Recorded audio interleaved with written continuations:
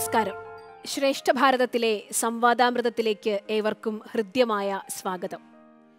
സംവാദാമൃതത്തിൽ ഇന്ന് നമ്മോടൊപ്പമുള്ള അനുഗ്രഹീത സാന്നിധ്യം സദ്ഗുരു മാതാമൃതാനന്ദമയി ദേവിയുടെ സന്യാസി ശിഷ്യനും ഇപ്പോൾ തിരുവനന്തപുരം മഠത്തിന്റെ ചുമതല വഹിക്കുന്ന സമ്പൂജ്യ സ്വാമി ശിവാമൃതാനന്ദപുരി ഏറെ ആദരവോടെ സ്വാമിജിയെ സ്വാഗതം ചെയ്യുന്നു.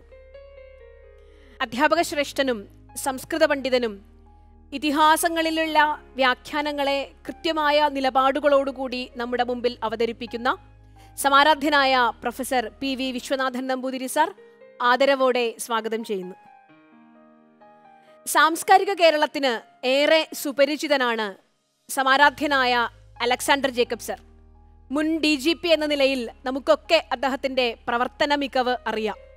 ധാർമ്മികമായ നിലപാടുകളോടുകൂടി കേരളത്തിന്റെ സാംസ്കാരിക മേഖലയിൽ സജീവമായ സാന്നിധ്യമായ അലക്സാണ്ടർ ജേക്കബ് സാറിനെ ഏറെ ആദരവോടെ സ്വാഗതം ചെയ്യുന്നു. ഇന്ന് നാം ചർച്ച ചെയ്യുന്നത് ദൂതന്മാരുടെ പ്രത്യേകതകളെക്കുറിച്ചാണ്. ദൂതന് വലിയ സാംസ്കാരിക പ്രാധാന്യമുണ്ട് നയതന്ത്ര പ്രാധാന്യമുണ്ട്. രാമായണത്തിൽ നാം പല തലങ്ങളിലുള്ള ദൂതന്മാരെ പരിചയപ്പെടുന്നുണ്ട്.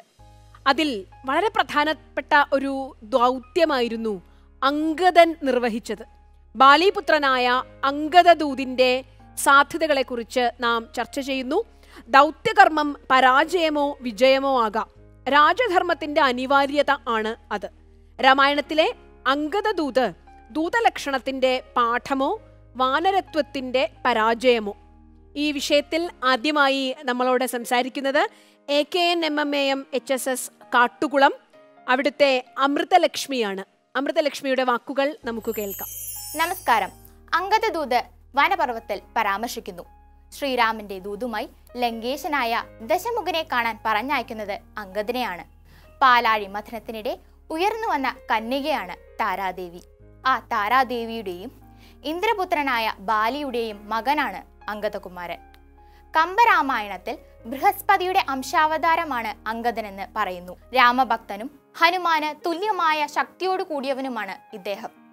മാത്രമല്ല വിവേകിയും സമരവിദഗ്ധനും മികച്ച യോദ്ധാവും കൂടിയാണ്. യുദ്ധം ഒഴിവാക്കുക എന്നത് യുദ്ധം തുടങ്ങുന്നതിന് തൊട്ടു മുമ്പുള്ള നിമിഷം കൂടി ശ്രദ്ധിക്കേണ്ട കാര്യമാണെന്ന് ഭാരതീയ സംസ്കാരത്തിൽ അനുശാസിക്കുന്നു. ഇതിനുള്ള അന്തിമ ഉപാധിയാണ് ദൂതകർമ്മം. അതുകൊണ്ട് തന്നെ ശ്രേഷ്ഠരായവരെ മാത്രമേ ദൂതകർമ്മത്തിനായി നിയോഗിക്കാറുള്ളൂ. രാമന്റെ സംരക്ഷണയിലുള്ള കിഷ്കിന്താപതിയുടെ ദൂതനായാണ് അംഗദൻ പുറപ്പെടുന്നത്. ദൂതനിപുണനായ അങ്കദകുമാരന്റെ വാക്ചാതുര്യം വിശേഷമാണ്. ഭയമോ ആശങ്കയോ കൂടാതെ ദൂതകർമ്മം നടത്തി സ്വന്തം പ്രഭുവിന്റെ വൈഭവവും പ്രകടിപ്പിച്ചുകൊണ്ടാണ് ബാലിപുത്രൻ രാമസവിധമണയുന്നത് സകല ജീവി വർഗങ്ങളെയും അടിച്ചമർത്തുകയും പരധാരാപഹരണം പതിവാക്കുകയും ചെയ്ത ആ നീചരാക്ഷസനോട് കീഴടങ്ങാൻ ദൂതൻ ഉപദേശിക്കുന്നു.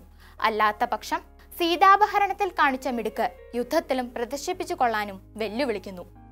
വീരനായ രാഘവൻ വിചാരിച്ചാൽ രാക്ഷസരഹിതമായൊരു ലോകം സൃഷ്ടിക്കാനിടയാകും.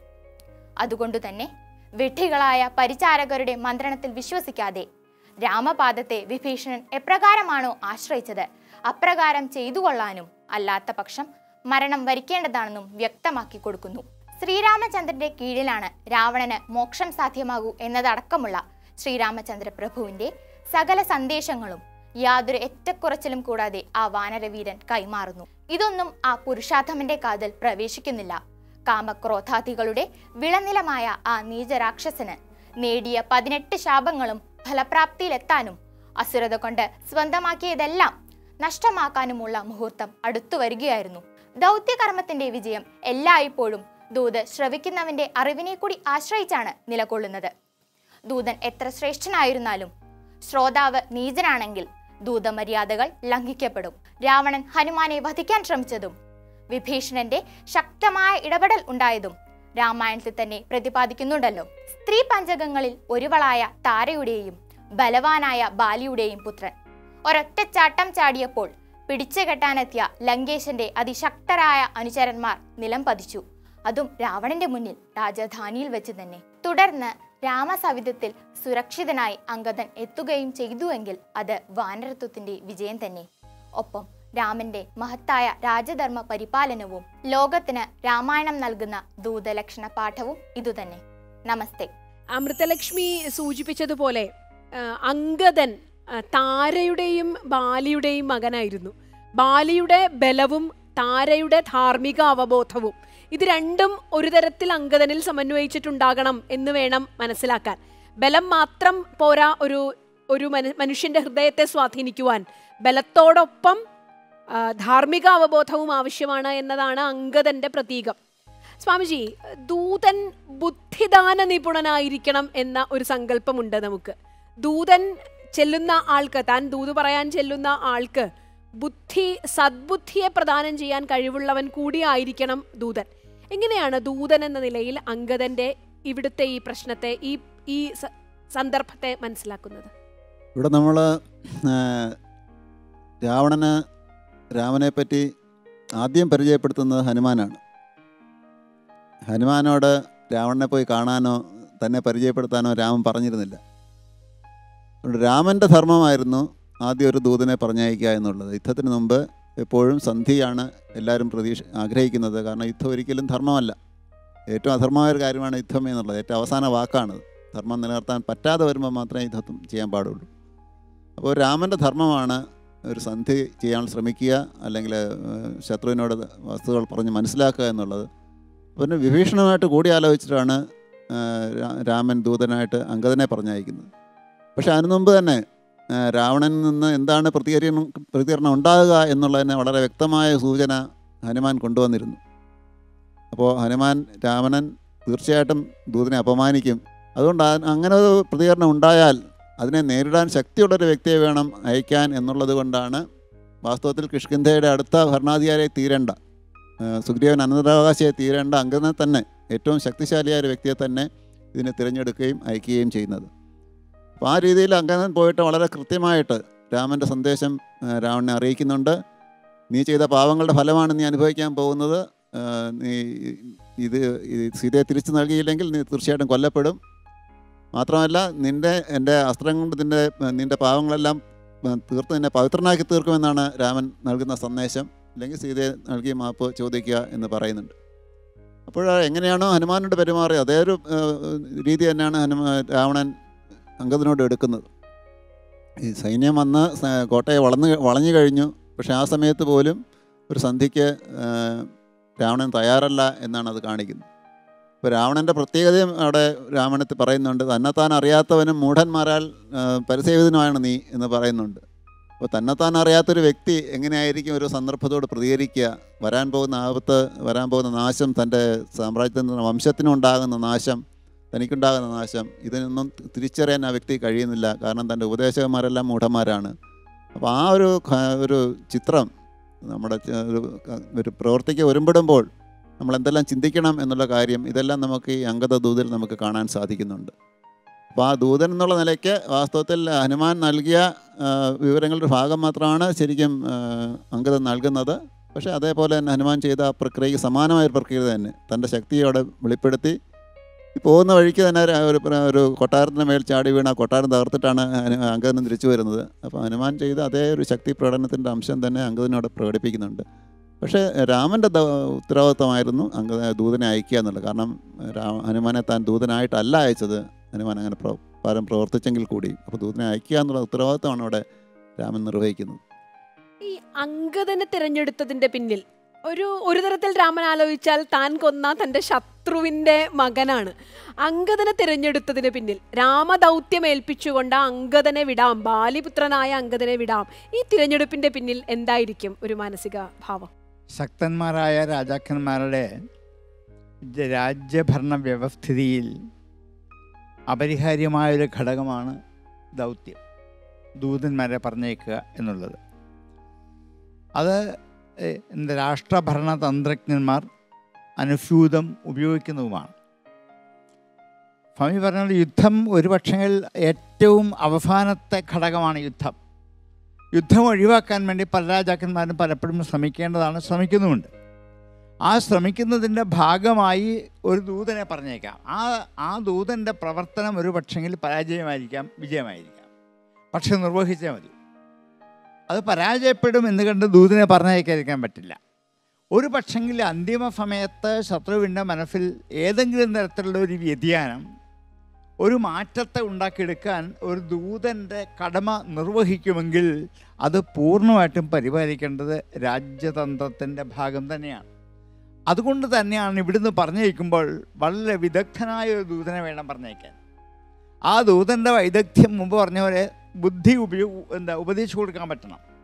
ഉപദേശകന്മാരില്ലാഞ്ഞിട്ടല്ല ഒരു പക്ഷെങ്കിൽ ഇങ്ങനെയൊക്കെ തീരുമാനിക്കുന്നെങ്കിൽ പോലും അന്തിമ നിമിഷത്തിൽ ശത്രുപക്ഷത്തിൽ നിന്നും വരുന്ന ഒരു ഉപദേശത്തെ അല്പസമയം ഒന്ന് ഉൾക്കൊണ്ടിട്ട് ഒരു ചെറിയ മനസ്സിന് മാറ്റമുണ്ടാക്കാൻ ബുദ്ധിക്ക് ഒരു വിപരിണാമം ഉണ്ടാക്കാൻ കഴിയുമെങ്കിൽ ആ ദൂതകർമ്മം വിജയമായിരിക്കാം. പറ്റിയില്ലെങ്കിൽ പരാജയമായിരിക്കും. പരാജയമാണെങ്കിലും ഇത് തുടരുക തന്നെ ചെയ്യണം. അതുകൊണ്ട് തന്നെ വിദഗ്ധനായ ദൂതനെ പറഞ്ഞേക്കണം എന്നുള്ള നിർബന്ധമാണ്. വെറുതെ ഒരാളെ പറഞ്ഞയച്ചാൽ പോരാ. പറഞ്ഞയക്കുന്ന കാര്യം അതേപോലെ എന്ന് പറഞ്ഞിട്ട് വന്നാൽ പോരാ. എന്താണ്? അമ്പയക്കുന്നത് പോലെ അവിടെ പോവുക പോയിട്ട് കാര്യമാണ് പറയുക തിരിച്ചു വരിക അങ്ങനെയുള്ള ദൂതനെ ഉപയോഗിച്ചിട്ട് കാര്യമില്ല. പോകുന്ന വഴിക്ക് ഒത്തിരി പ്രതിബന്ധങ്ങൾ ഇദ്ദേഹത്തിനുണ്ടാവാം. ആ പ്രതിബന്ധങ്ങളെ തരണം ചെയ്ത് ആ ഉദ്ദിഷ്ടമായ ശത്രുവിന്റെ രാജധാനിയിലെത്തി ശത്രുവിന്റെ മുമ്പിൽ തന്നെ ചെന്ന് നിന്ന് ഈ കാര്യം പറയാനുള്ള ഒരു കഴിവുള്ള ഒരാളെ വേണം തിരഞ്ഞെടുക്കാൻ. ഇതാണ് അംഗദിനെ തിരഞ്ഞെടുക്കാൻ പ്രധാനപ്പെട്ട കാരണം. അംഗദിന് ഈ ഒരു വൈഭവം ഉണ്ട് എന്ന് രാമന് നന്നായിട്ടറിയാം കാരണം എന്താണ്? ഭാര്യയിൽ നിന്ന് കിട്ടിയ എല്ലാ വിധത്തിലുള്ള ശക്തിയും എന്നല്ല രാവണന്റെ സൗഹൃദം ആണ് എന്താണ്? ബാലിക്ക് ഏറ്റവും പ്രധാനം ഉണ്ടായിരുന്നത്. രാവണൻ ഒരുപക്ഷെ പരാജയപ്പെട്ട ഭാര്യയുടെ മുമ്പിൽ മാത്രമേ ഉള്ളൂ.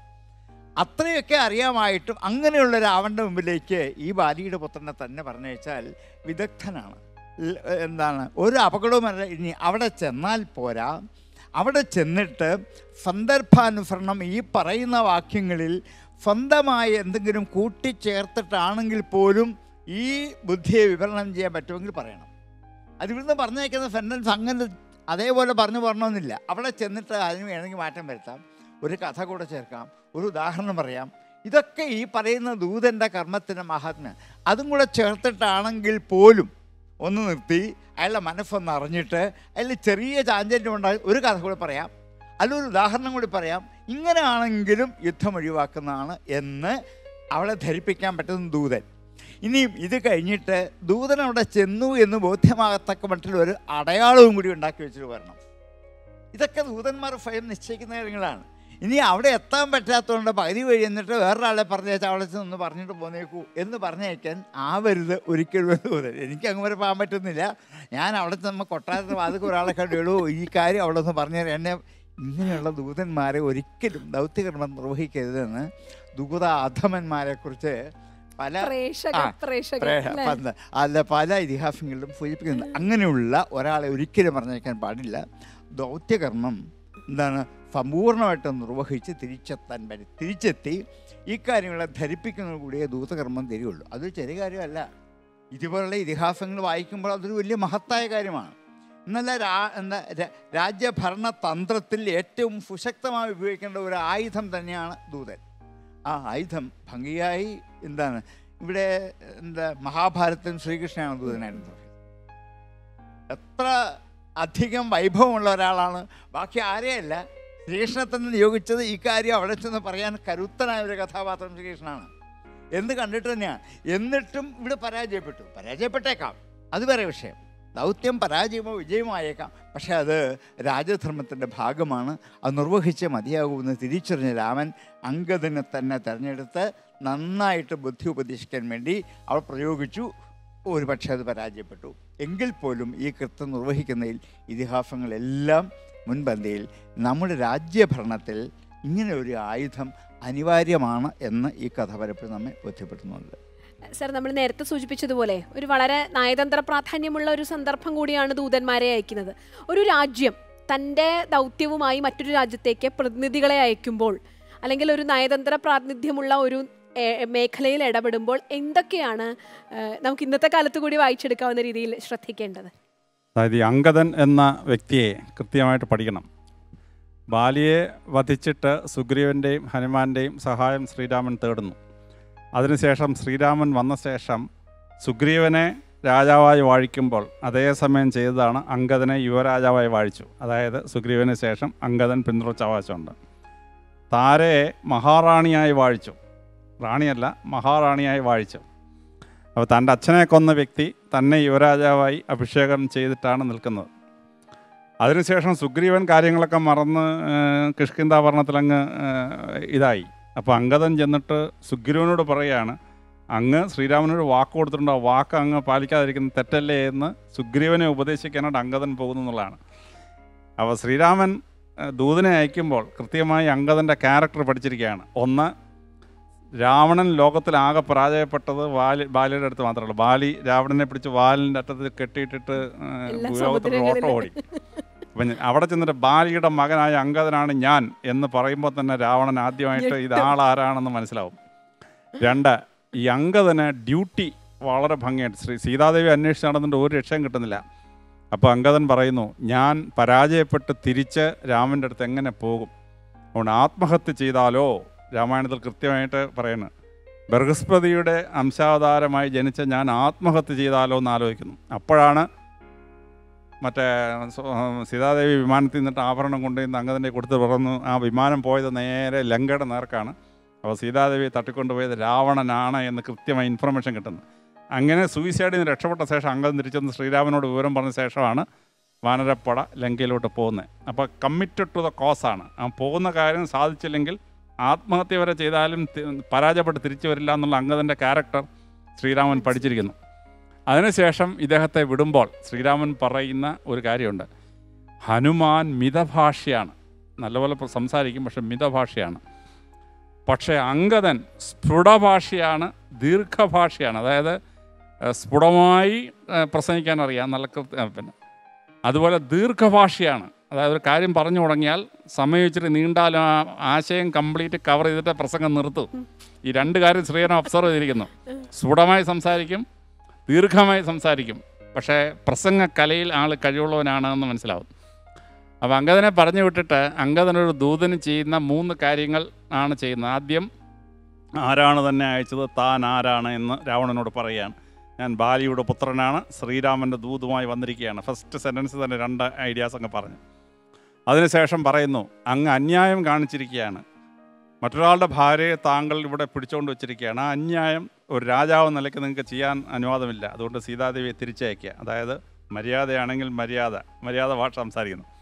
അവിടെ രാവണൻ പറയുന്നു ഇല്ലില്ല ഞാൻ വിടില്ല എന്ന് പറയുമ്പോൾ പിന്നെ ആൾ ഭീരുവാണെങ്കിൽ ആളിനെ വരട്ടുക എന്നുള്ളതാണ്.